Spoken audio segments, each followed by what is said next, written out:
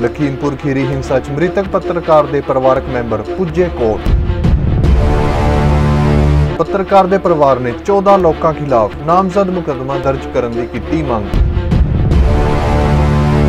ਲਖੀਮਪੁਰ ਖੀਰੀ ਜ਼ਿਲ੍ਹੇ ਦੇ ਤਿਕੂਣੀਆਂ ਵਿੱਚ 3 ਅਕਤੂਬਰ ਨੂੰ ਹਿੰਸਾ ਭੜਕ ਉੱਠੀ ਸੀ। ਲਖੀਮਪੁਰ ਖੀਰੀ ਵਿੱਚ ਭੜਕੀ ਹਿੰਸਾ ਦੀ ਇਸ ਘਟਨਾ ਵਿੱਚ 4 ਕਿਸਾਨਾਂ ਅਤੇ ਇੱਕ ਪੱਤਰਕਾਰ ਸਮੇਤ ਕੁੱਲ 8 ਲੋਕ ਮਾਰੇ ਗਏ ਸਨ। 4 ਕਿਸਾਨਾਂ ਨੂੰ ਗੱਡੀ ਰਾਹੀਂ ਕੁਚਲਣ ਦੀ ਘਟਨਾ ਵਾਪਰੀ, ਜਿਸ ਦਾ ਦੋਸ਼ ਕੇਂਦਰੀ ਗ੍ਰਹਿ ਰਾਜ ਮੰਤਰੀ ਅਜੇ ਮਿਸ਼ਰਾ ਟੇਨੀ ਦੇ ਬੇਟੇ ਅਸ਼ੀਸ਼ ਮਿਸ਼ਰਾ ਸੋਨੂ ਤੇ ਹੈ। ਹਿੰਸਾ ਦੀ ਉਸ ਘਟਨਾ ਵਿੱਚ ਪੱਤਰਕਾਰ ਰਮਨ ਕਸ਼ਯਪ ਵੀ ਮਾਰੇ ਗਏ ਸਨ। ਮਾਰੇ ਗਏ ਪੱਤਰਕਾਰ ਰਮਨ ਦੇ ਪਰਿਵਾਰ ਨੇ ਹੁਣ ਇਸ ਮਾਮਲੇ ਵਿੱਚ ਐਫ ਆਈ ਆਰ ਦਰਜ ਕਰਵਾਉਣ ਲਈ ਕੋਰਟ ਵਿੱਚ ਮੰਗ ਦਰਜ ਕੀਤੀ ਹੈ। ਕੋਰਟ ਵਿੱਚ ਦਰਜ ਮੰਗ ਵਿੱਚ ਪੱਤਰਕਾਰ ਰਮਨ ਦੇ ਪਰਿਵਾਰ ਨੇ 14 ਲੋਕਾਂ ਖਿਲਾਫ ਨਾਮਜ਼ਦ ਮੁਕੱਦਮਾ ਦਰਜ ਕਰਨ ਦੀ ਮੰਗ ਕੀਤੀ ਹੈ। ਰਮਨ ਕਸ਼ਯਪ ਦੇ ਭਰਾ ਪਵਨ ਕਸ਼ਯਪ ਨੇ ਐਫ ਆਈ ਆਰ ਦਰਜ ਕਰਨ ਲਈ ਲਖੀਮਪੁਰ ਦੇ ਸੀ ਕੋਰਟ ਵਿੱਚ ਮੰਗ ਦਰਜ ਕੀਤੀ ਹੈ। ਲਖੀਮਪੁਰ ਖੀਰੀ ਦੇ ਤਕੋਣੀਆਂ ਵਿੱਚ ਭੜਕੀ ਹਿੰਸਾ ਵਿੱਚ ਮਾਰੇ ਗਏ ਰਮਨ ਕਸ਼ਯਪ ਦੇ ਭਰਾ ਪਵਨ ਕਸ਼ਯਪ ਦੀ ਮੰਗ ਤੇ ਸੀ ਜੇ ਐਮ ਕੋਰਟ ਵਿੱਚ 15 ਨਵੰਬਰ ਨੂੰ ਸੁਣਵਾਈ ਹੋਏਗੀ। ਰਮਨ ਕਸ਼ਯਪ ਦੇ ਭਰਾ ਪਵਨ ਕਸ਼ਪ ਵੱਲੋਂ ਕੀਤੀ ਗਈ ਸ਼ਿਕਾਇਤ ਵਿੱਚ 14 ਲੋਕ ਨਾਮਜ਼ਦ ਕੀਤੇ ਗਏ ਹਨ। ਨਾਮਜ਼ਦ ਕੀਤੇ ਗਏ ਦੋਸ਼ੀਆਂ ਵਿੱਚ ਕੇਂਦਰੀ ਗ੍ਰਹਿ ਰਾਜ ਮੰਤਰੀ ਅਜੇ ਮਿਸ਼ਰਾ ਟੈਨੀ ਦੇ ਨਾਲ ਹੀ ਉਹਨਾਂ ਦੇ ਬੇਟੇ ਆਸ਼ੀਸ਼ ਮਿਸ਼ਰਾ ਸੋਨੂ ਦਾ ਨਾਮ ਵੀ ਸ਼ਾਮਲ ਹੈ।